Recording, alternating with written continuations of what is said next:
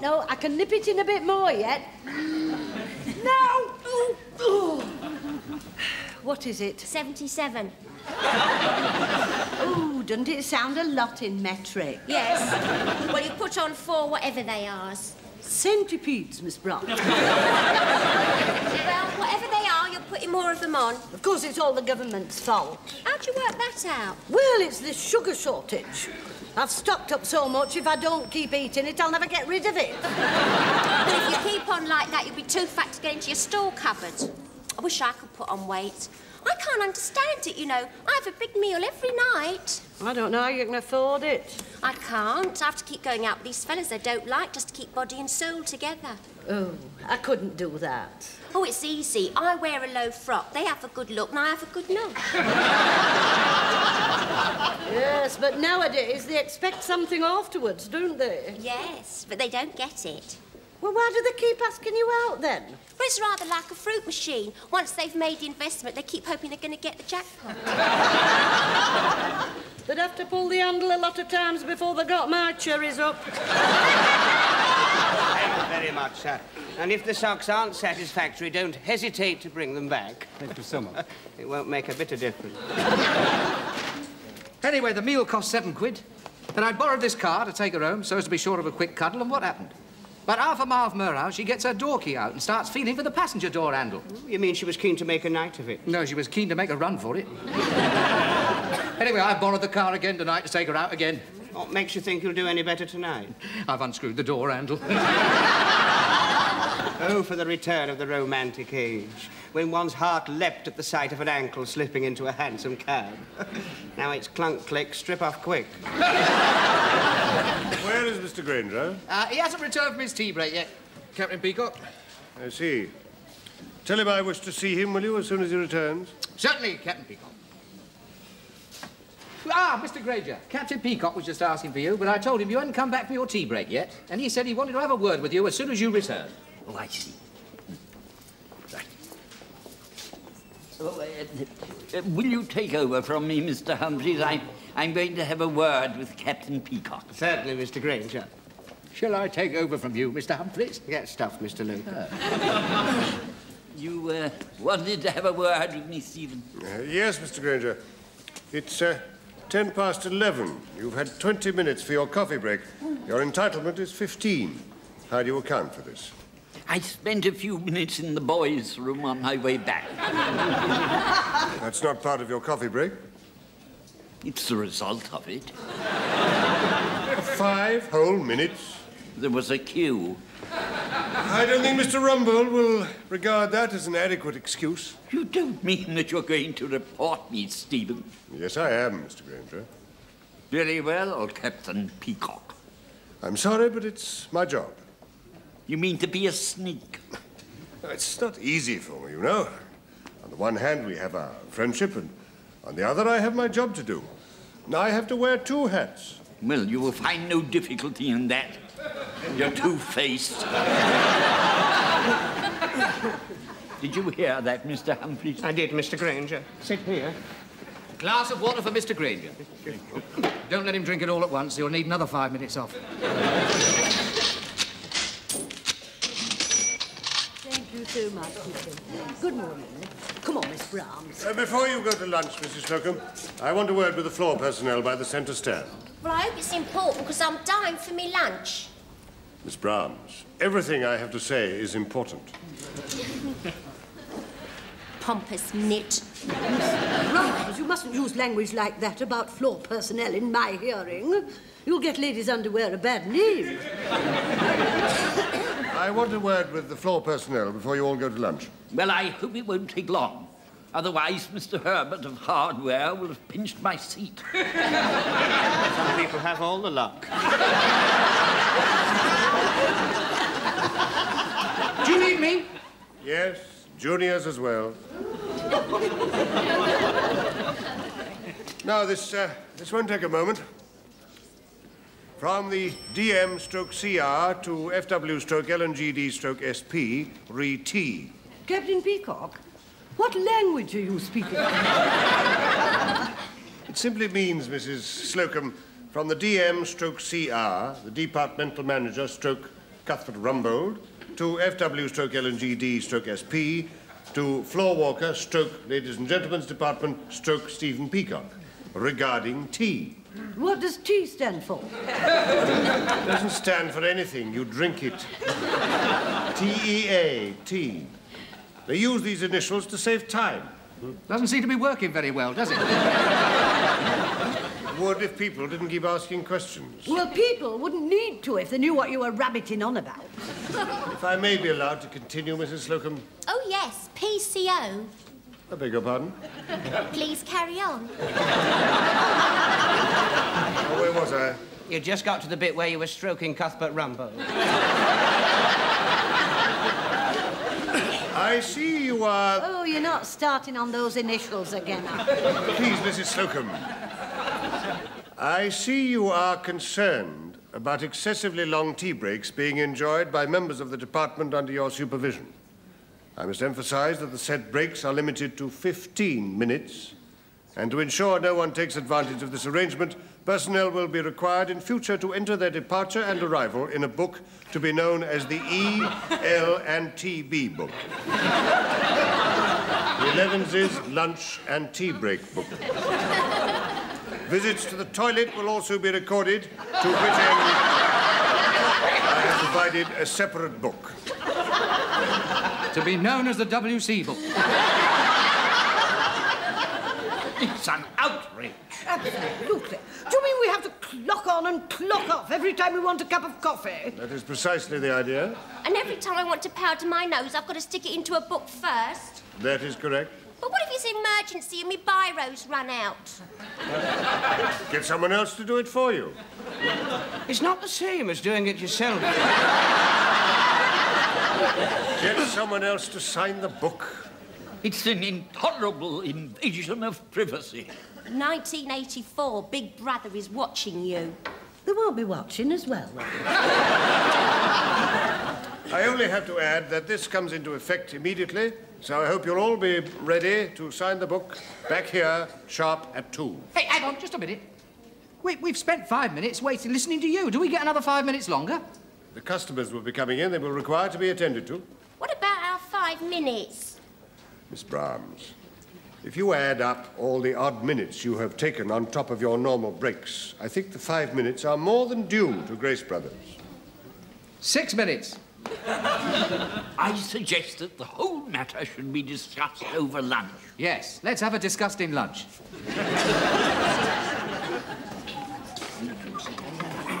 Oh, here he is. Who's for Cocky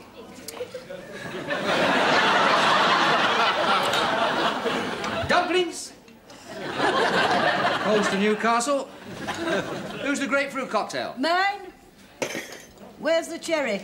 I ate it. You're supposed to be on a diet. I'll thank you to let me make my own sacrifices. One open sandwich. I did not ask for an open sandwich. No, I'm sorry, Mr. Granger, but somebody nudged me in the queue and the top fell off. I'll go back and get it if you want it. I think it fell butter up. Don't bother. You're being brave having a seafood salad. Oh, shellfish. That's supposed to make you virile. No, I don't think a couple of mussels and a shriveled up prawn is going to do much for my performance tonight. Why? What are you doing? He's got a date with a lady escapologist. He's taking the handle off the car door so that he can bend her to his will. I always carry a tin opener. Doesn't that take a long time? No, I jab him in the hands with it. Mr. Granger's still got the scars. Could we tear ourselves away from sex for one moment to discuss this clocking in business? Well, I think it was quite humiliating, Mr. Granger, the way you were told off in front of us. Don't you, Mr. Lucas? oh, I do, Mr. Humphries. I very nearly went over to Captain Peacock to say something really sharp and witty to cut him down to size. Why didn't you? I couldn't think of anything. Well, what are we going to do about it? Well, I don't think you and Mr. Granger should put up with it.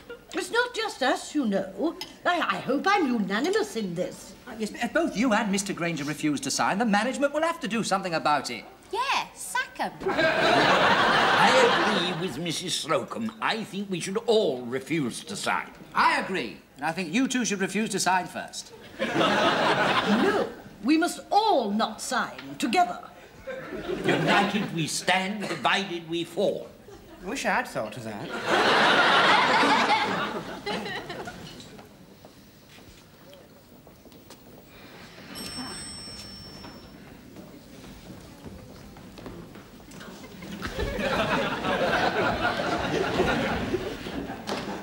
Mr. Granger, eh?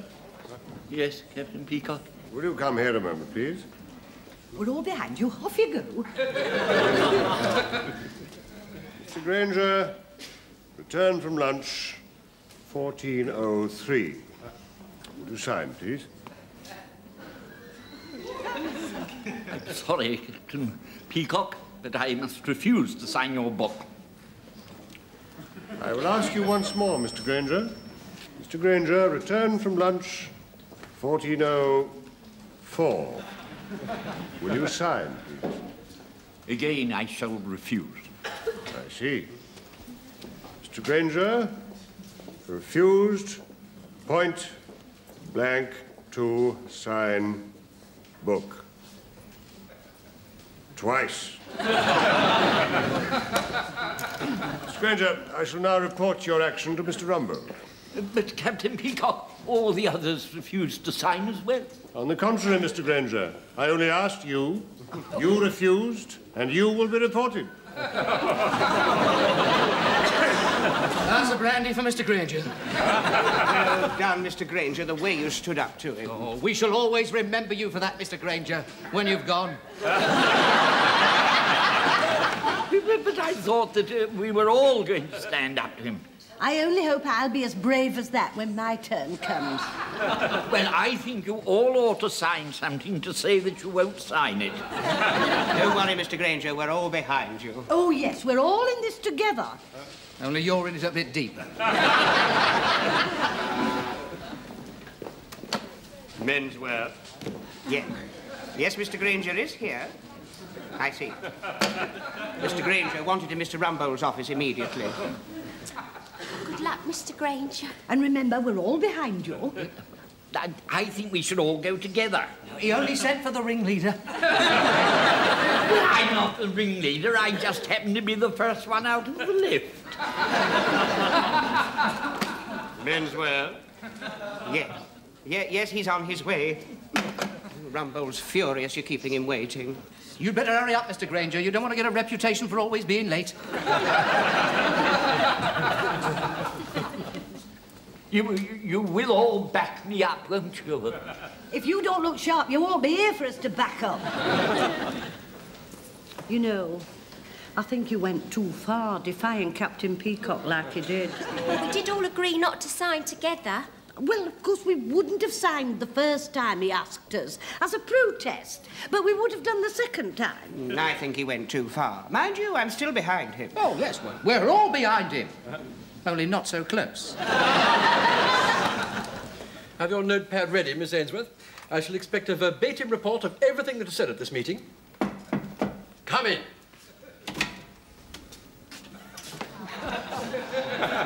I believe you wanted a word with me, Mr. Rumbold. I've been waiting five minutes to have a word with you, Mr. Granger. I, I came as quickly as I could. Do you recognize this book? Y- yes, I think so. Take everything down, Miss Ainsworth. I've taken everything down. Knock, knock, come in. I believe you wanted to have a word with me, Mr. Rumbold. I've been waiting five minutes to have a word with you, Mr. Granger. I came as quickly as I could. Do you recognise this book? Yes, I think so. Take everything down, Miss Ainsworth. I've taken everything down. Don't put down what you say. yes, sir. Shall I put that down? No. Let's start again. Knock, knock, come in. Please. Miss Ainsworth, be quiet. now, Mr. Granger, do you admit that you refused to sign this book? We all refused. I'm afraid that's not true. I only asked Mr. Granger. But they were all behind me. Eh, I see. Led by you. I'm afraid, Peacock, it seems clear we must make an example in this case. I'm afraid so. One rotten apple can spoil the whole barrel. I would like to say, Mr. Granger's defense, that he has never been a rotten apple. Thank you, Captain Peacock. Until today. Come in. I'm in. I wish you'd wait until I say come in before you come in. I'm having an important meeting here. Shall I go out again then? No, no, no. Put it down. Shall I put that down? I don't want that put down. What shall I do with it then? Put it down. I thought you said don't put it down. I don't want you to put down, put it down. Well, I'm going to put it down. And as far as I'm concerned, you can stick it up. Don't put that down, Miss Ainsworth. Uh, now, where were we? Never been a rotten apple in the barrel until today. Yes, Mr. Granger. For the four minutes unauthorized absence, I am deducting 25 pence from your pay packet, plus a further 25 pence for refusing to sign this book. Could I sign now and save the 25 pence? No, I'm afraid not. Captain Peacock's remarks take up the place where you were supposed to sign. That is all, Mr. Granger. The matter is closed. Uh, what, what about the others? That is all, Mr. Granger. The matter is closed. Well, I think it's disgraceful. You having to pay 50p. I shouldn't stand for it. No, you should stand up for yourself and tell them where to get off. Yeah, we're behind you. I prefer to forget it. It's all been most unpleasant. I think we all ought to chip in and pay Mr. Granger's fine. I mean, after all, it's only 10p each. Ah, but he was fined 25p for being late and 25p for not signing. Now, we're only supporting him for not signing, so we should only pay half. Hold on, hold on, hold on. Now, there's a principle involved here, isn't there? Brother Granger is being victimised because he stood up for his rightful rights. Now, it's only fair that we should stand up for him. This has nothing to do with you, Mr. Mash. Get back to your basement. It has everything to do with me, Brother Slocum. I am shop steward, and in that capacity, I am convening an emergency meeting in accordance with section 23 of the rule book. Can we do that? Of course we can. But what about the customers? You'll have to wait. It all comes to a halt when the brothers say so. Well, it's just like the mafia and the, and the cosy nostril. Are you free, Mr. Granger? Uh, come in, Captain Peacock. Don't move, brother. There'll be Captain Peacock once. He can't touch us once I've convened an emergency meeting. We are sacrosanct. Is that true? That is true, brother. Brother Humphries. Oh, doesn't it bring you close when you have a union? I called you, Mr. Granger. I've been convened. Get off the floor, Mash. Unless you want everybody out from here to Harrods, I would not use that tone of voice, Peacock. Now then, we are gathered here today, brothers, to consider the case of Brother E. Granger. So you're behind this, Granger. No, no, no, no, we're all behind it. Now, as I see it, we've got two things to decide. What we want and how we are going to get it. But I'm not sure what we want. Ah, well, you're lucky you got me here then, ain't you? Firstly, we want to remove the stigmata attached to Brother Granger. Oh, it sounds like The Exorcist. And secondly, and secondly, on the time element, we want to be free and unrestricted in the cloakroom. I'll second that. And thirdly, we want a reappraisal of the whole archaic coffee break system, bringing it into line with current industrial practice. What does that mean? What does that mean? That means, brother, that unless the management meet our demands, we take action. And if that don't work, we'll escalate. Here, here. Oh, now you've wasted enough time, Mash. Everybody back to work. You're out of order, brother Peacock, and I do not want to have to reprimand you again, all right?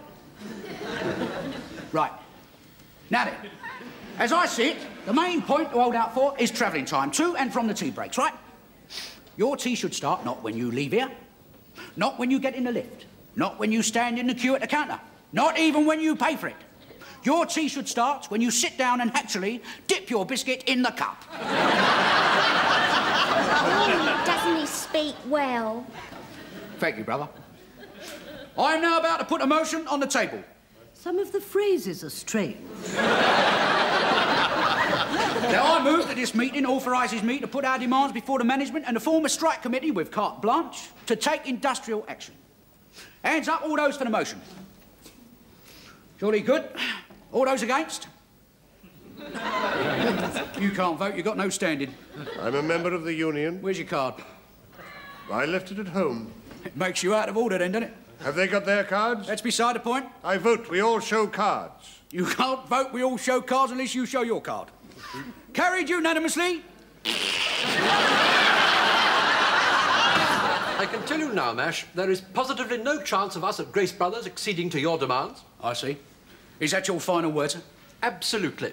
The management stands firm behind its agreement of 1928.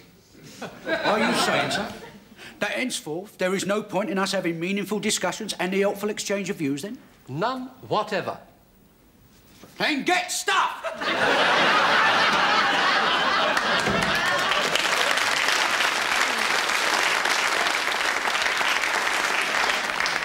Don't put that down, Miss Ainsworth.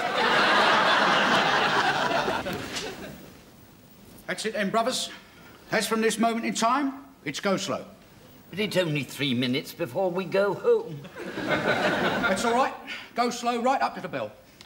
Well, that's not going to be easy without any customers. In my official capacity as shop steward Peacock, I'm ordering you to go slow. Hold that, Mrs. Slocum. As from now on, it's go slow. But if I don't get these covers on quick, I'll miss me bus. Or oh, leave 'em. But my undies will get all smutty. So let them get smutty. I'm not that kind of person. and I can't sell smutty underwear. So the management, through their intractable attitude, will lose money. And I lose my commission. We've all got to make sacrifices, brother. Not when I'm saving for me holidays, we don't. Don't forget, brothers, when you arrive in the morning, it's go slow. I, I don't like this union thing at all. It seems to be going too far. Well, you started it, brother.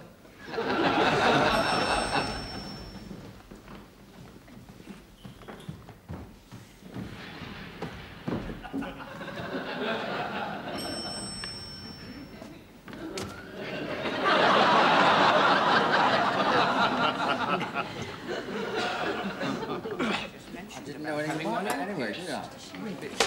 No, I didn't know about it.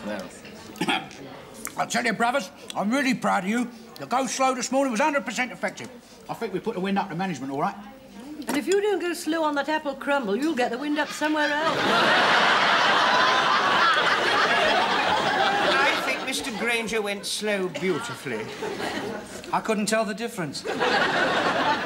Well, I know we're all behind the union, Mr. Humphries, but I must say that I do think ten minutes is rather a long time to spend on an inside leg.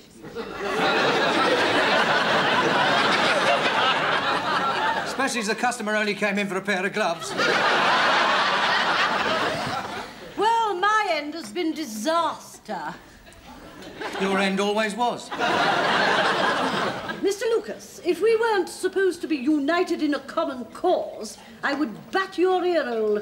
I had this Russian lady athlete in this morning. I took so long fitting her for a bra, she left me her address in Vladivostok. I mean, let's face it, it hasn't been a success, has it? I don't think Peacock even noticed. In that case, we'll have to escalate. How? Well, one of the ways of bringing our grievances to the attention of the hierarchy is to bung up the loose with plaster of Paris.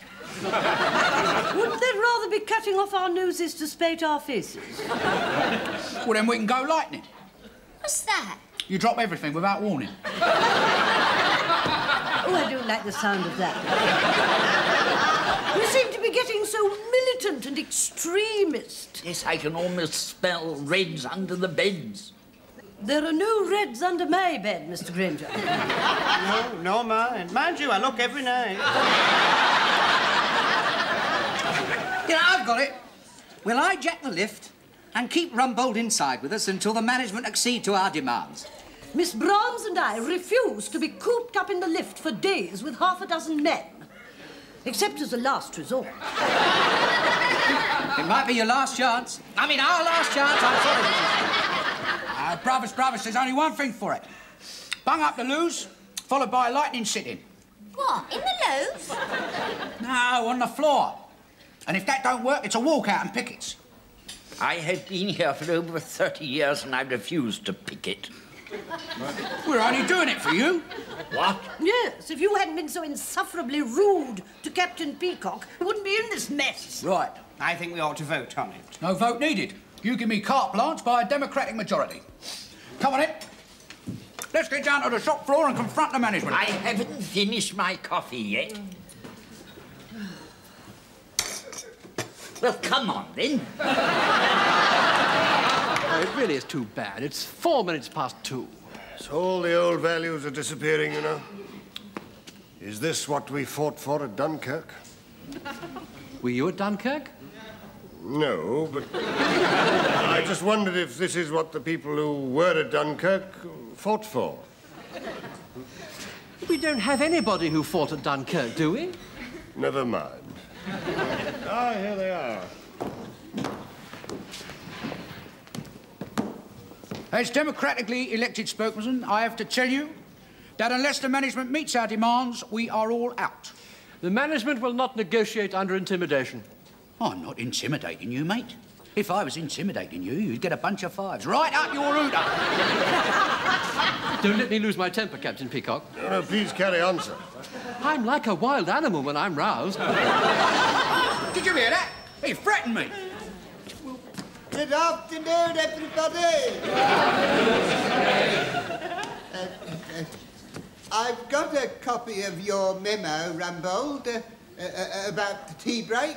Uh, yes, well, further to that, sir, the uh, workers are claiming that their tea break shouldn't commence until they actually get the coffee in their hands. Yeah, and we'll get it and all. We're right behind Mr. Granger in this, sir. It wasn't just me, sir. Yeah. We are not travelling up and down in your rotten old lift to your rotten old canteen in our own time, sir. That- That's quite right. The lifts are not up to it. my tea break begins when my tea is handed to me. And what's good enough for me is good enough for you. That's it, brothers. We've won. That's the power of the union. Well, I, I'm very glad I held out. Well done, Mr. Granger. We were all behind you. So, in future, your tea will be handed to you. Goddard. So now you, you won't have to leave the department at all. Carry on, everybody. You've all done very well.